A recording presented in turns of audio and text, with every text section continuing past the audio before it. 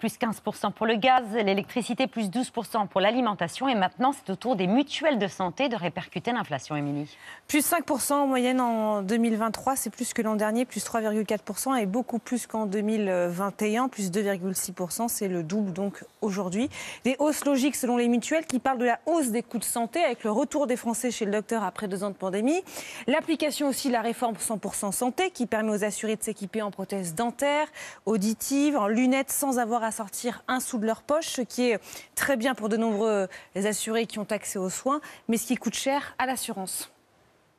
N'y a pas que les mutuelles, tous les autres contrats d'assurance vont augmenter. Oui, plus 3% pour les assurances auto en moyenne, plus 3, 3,5% pour les assurances habitation, toujours en dessous de l'inflation, certes qui est à 6%, mais une hausse de 3%, ça n'était pas arrivé depuis 10 ans. La raison, les crises qu'on traverse en ce moment, la guerre en Ukraine augmente le prix des matières premières et entraîne des pénuries. À notre niveau, ça rend la réparation des véhicules plus chère. Pour ce qui est de l'assurance habitation, le fautif, c'est le réchauffement climatique. Ce n'est que de la boue. Ma voiture vient de partir aussi, donc euh, comme ça, tout est détruit. La maison est ventrée, euh, enfin plus de toit.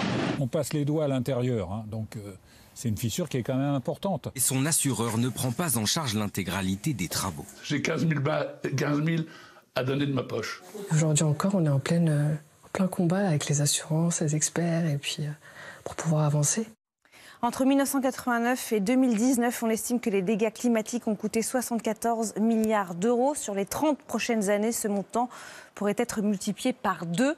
Les assureurs ont beau augmenter leurs tarifs, ils semblent inquiets pour la suite. C'est ce que nous expliquait Pascal Demurger, directeur général du groupe Maïf, en septembre dernier sur ce plateau je vais dire, le hors norme devient la norme, quoi, hein, devient, euh, devient l'habitude. Et là, je n'ai décrit que 2022, mais c'est une tendance que l'on voit depuis une décennie en réalité. Hein. Euh, tous les cinq ans, il y a à peu près un doublement euh, du coût des, des, climatiques. donc c'est une tendance. C'est une tendance qui, si elle se prolonge, et surtout si nous n'agissons pas, fait qu'à un horizon 2050, le monde sera devenu inassurable. Bonsoir Pascal Desmurger. Bonsoir. Directeur général de la Maïf. On vient de vous réentendre, c'était il y a quelques mois, ici même. Si on n'agit pas, en 2050, le monde sera devenu inassurable. C'était euh, il y a quelques mois. Vous avez décidé d'agir. Dès cette année, vous allez reverser 10% de vos bénéfices à des projets écologiques. Pour 2022, ça représente 10 millions d'euros. On fait quoi avec 10 millions d'euros, Pascal Desmurger alors, euh, on, s'est engagé d'ailleurs sur la durée. Hein. C'est-à-dire, c'est pas seulement pour 2022, mais c'est chaque année, nous reverserons euh, pour la planète, pour des projets en, faveur de, la planète et du climat et de la biodiversité, 10% euh, de, nos résultats. On fait plein de choses avec 10 millions d'euros, surtout que ça s'ajoute à déjà beaucoup d'actions hein, que, mm. que nous conduisons. On peut faire des choses pour nos assurés, en particulier pour les assurés qui sont à la fois les plus exposés aux risques climatiques, aux inondations, euh, etc. Vous allez les euh, aider à mieux se protéger. Exactement. Euh, ceux qui sont à la fois les plus exposés et les plus vulnérables économiquement, évidemment. Mm. Et on va les aider à mieux se, protéger, y compris bah, en cofinançant des travaux de, protection, de prévention.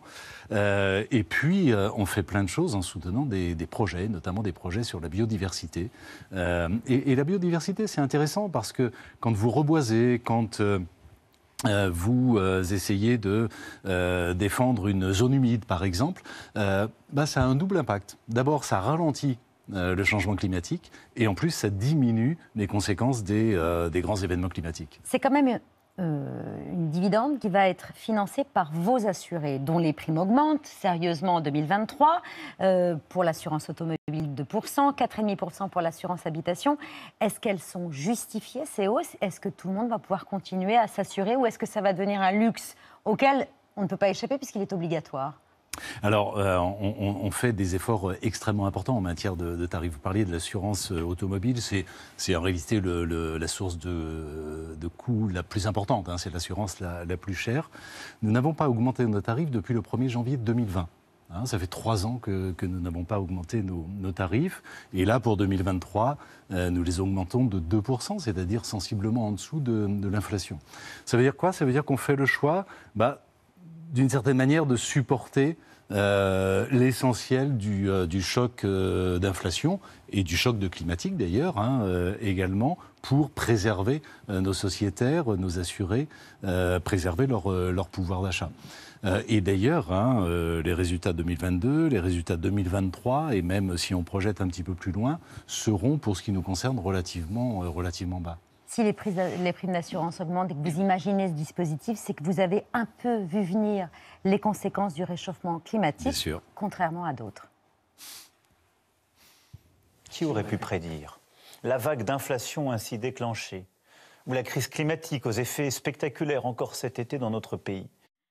Qui aurait pu prédire la crise climatique? Non, Cette voilà, phrase- vous, vous, vous mettez. Alors là, c'est de la manipulation pure et simple. Ça n'a pas été dit, ça, Si, non, mais Ça- vaut les commerces il faut- non il faut- essentiels, il faut- faut- faut Ça vaut les la commerces non chose- essentiels. La chose dans son intégralité. Elle vous a quand même euh, heurté, euh, étonné, cette phrase? Ah bah, en tout cas, si euh, quelqu'un pouvait prédire euh, la crise climatique et ses conséquences, ce sont bien les assureurs. hein. on est en première ligne par hypothèse. Et moi, je peux vous dire que ça fait plus de dix ans maintenant que chaque année, systématiquement, le coût des conséquences des événements climatiques augmente systématiquement.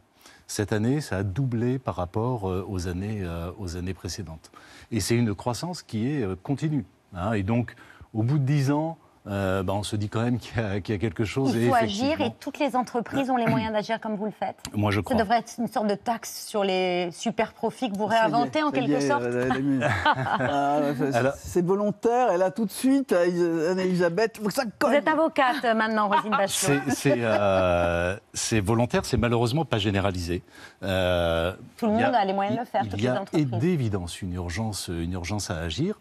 Euh, je pense que euh, c'est d'abord de la responsabilité des entreprises. Les entreprises ont des moyens relativement euh, importants, hein, et quand on a ces moyens, on a une responsabilité qui est, plus importante.